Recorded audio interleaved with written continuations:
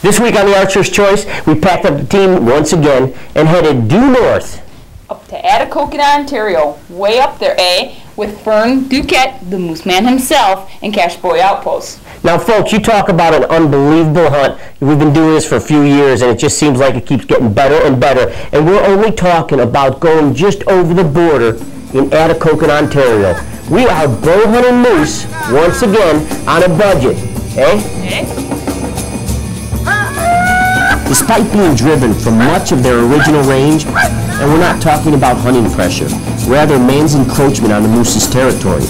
Today, however, the moose is thriving, and closer than you might think. Some of the best hunting is just north of our borders in the great country of Canada. For many a moose can be seen in the province of Ontario, and surely one of our favorite spots in moose guys is Fern Duquette of Cashaboie Outpost, just out of Atikokan, Ontario. Not only can this be a very affordable moose hunt, but once you try hunting these giant critters, you'll be back and back and back. You get what we're trying to say? Bow hunting moose is addictive. And you never know, you might be spending so much time up there, you might be saying, hey, too.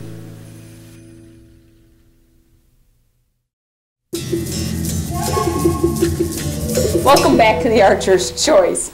Let me tell you, if you ever get the opportunity to hunt with Fern, Be prepared. he's a nut. The guy's crazy, but that's what makes this all fun. And you know, whether you whether you're having a bad day of hunting, which I don't know if there's really such a thing, there is a That's but this guy and all of his people can make you just change it gonna make the around and have a blast, no matter gonna be a what the situation, no matter what the weather is, you're going to Mark's got enjoy the back yourself. end. I don't know if that's safe.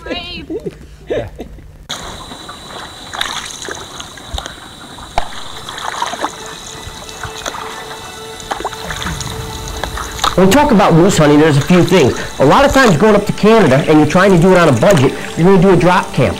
Don't think that you have to be, a, you know, this this professional, experienced caller. A cow moose call sounds something like. Something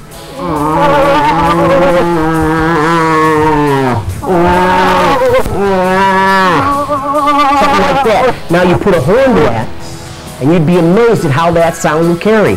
And all of a sudden, in the distance, you're going to hear. Sugar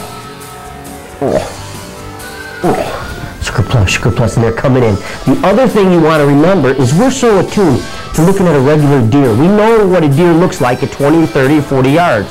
This moose that's coming in probably weighs about seven or 800 pounds more, stands a lot higher, has a bigger rack, comes in, and you literally can be so shaken up that that animal, you say, oh man, he's only 25 yards out.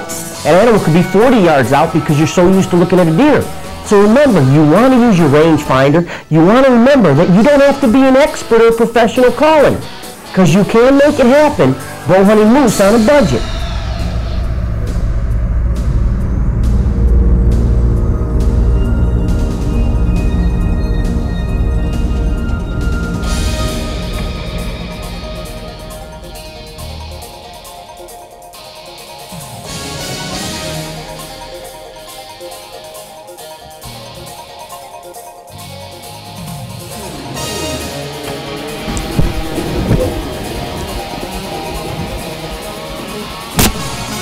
If you remember last year, we had an incredible hunt. Fern took a bull.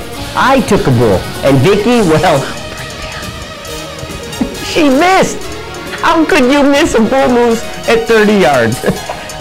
uh, let's not go there. the bottom line is we had a great hunt, and what we have to realize is moose during the rut are very vocal animals. Not only are there cows calling and echoing across that water, the thing is you can hear those bulls coming from a long distance off. Folks, you're looking for an exciting hunt. Whether you, if you're used to hunting turkeys, hunting elk, moose is a real easy transition except for one thing. They're only about four or five hundred pounds bigger than an elk, and only about, well, eight or nine hundred and seventy-five pounds or so bigger than a turkey.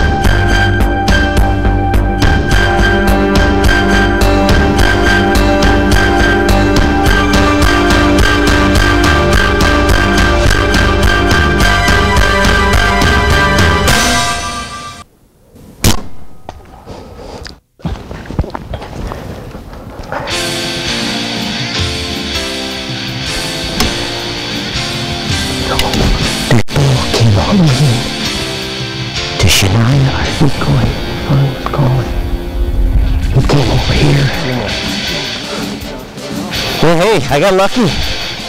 Look at this bull. Holy Toledo.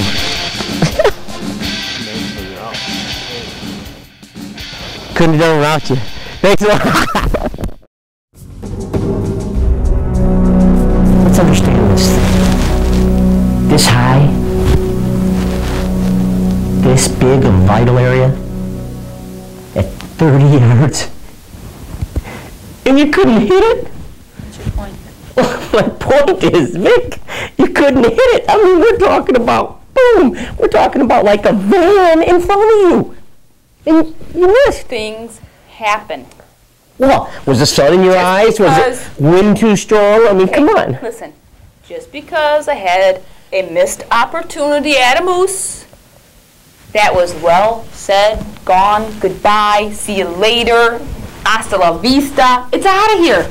No more. I've dealt with it for a year. Leave me alone. Okay. What about this year? I didn't have an opportunity.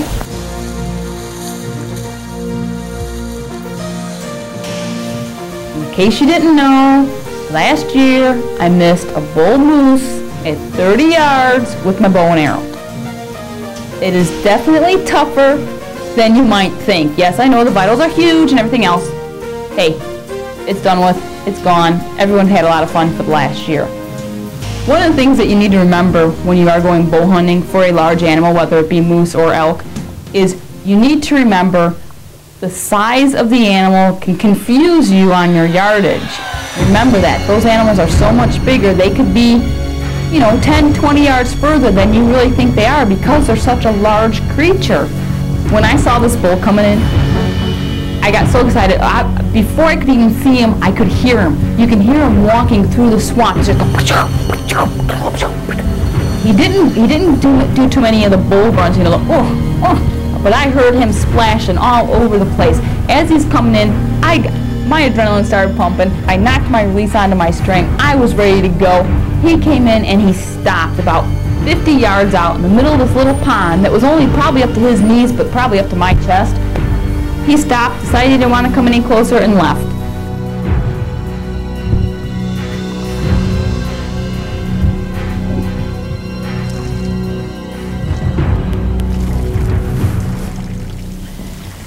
As soon as that bull stopped and started walking away, in my heart, I, in my head, I kept thinking, please, you're just gonna turn, come back, give me another chance. But he didn't. He stopped, he looked around, and walked away. And that was the end of it.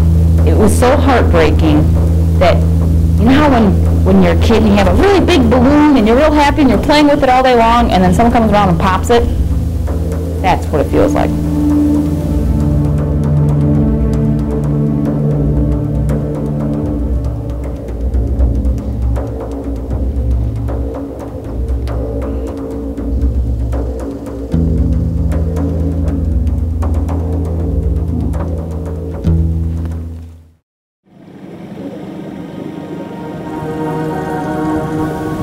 Most of us can relate to deer hunting, obviously because they're in our backyard. Many of us don't have moose in our backyard, so we have to travel. But once you do this, once you get a little bit into the moose hunting, like we talk about a lot of the hunting, but moose hunting, it's a certain, it's like getting branded.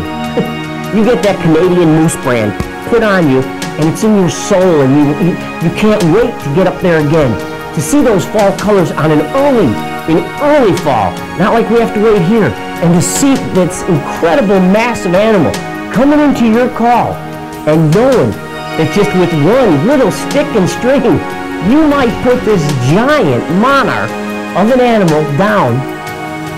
Man, it is just, it is just the experience that stays with you forever.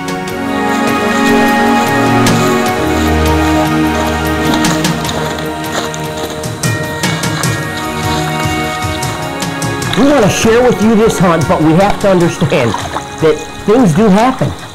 We, we were paddling, we paddled in, got all set up, everything's working great. We go to unload the canoe, and we drop the camera in the water.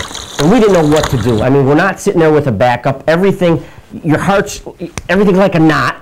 The hunt happens, you couldn't, picture perfect.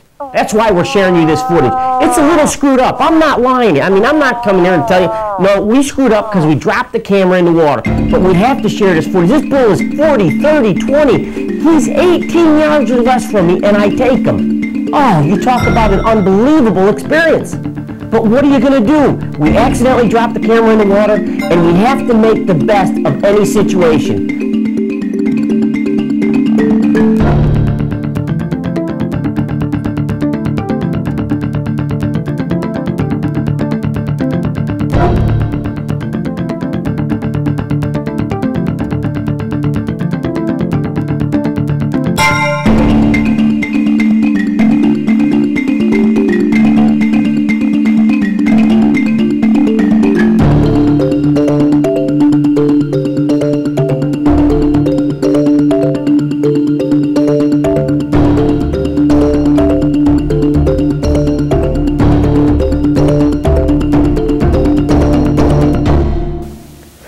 Heard him call from the distance and we could hear that he's coming fast. Boom, all of a sudden we, he appears out of the spruce. He's at 40 yards broadside. I come to full draw, I'm ready to take the shot, and I read his body language. It's like, no, he sees the decoy, he wants to come closer. 30, 20. This bull, this massive animal is standing less than 18 yards from me. I'm at full draw, and everything rushes through your mind at this moment. Your adrenaline rush, everything you practiced for, everything you prepared yourself for is right now.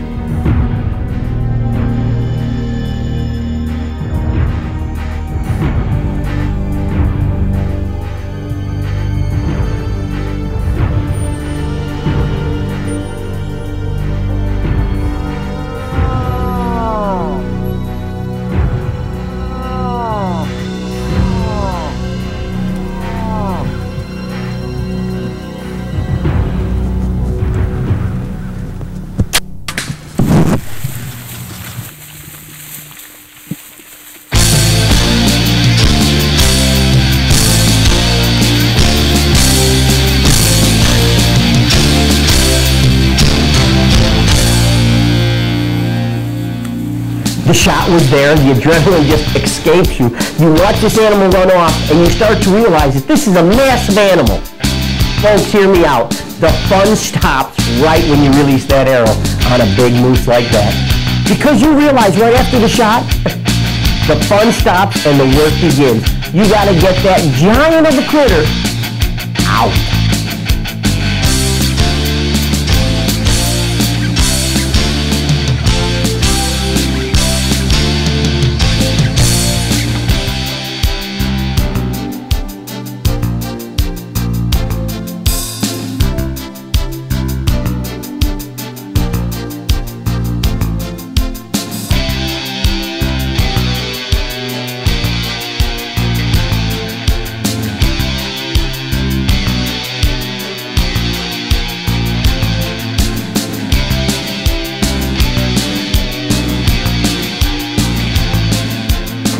Murphy's Law. If it isn't one thing, it's another.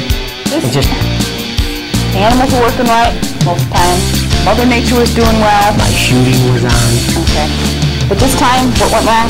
The cameras. And you know what we learned on this trip? We learned that cameras don't like to swim. No, you start mixing electronics and water, and it just it's a it's a bad deal. It is. And we want to thank Fern and all the guys up there and, and girls Yes. at Cashaboie Outpost for a great adventure and a lot of fun. And we also want to thank you for watching the Archer's Choice and taking time out of your busy schedule. So remember, come back here next week, same time, Same station right here on the Archer's Choice.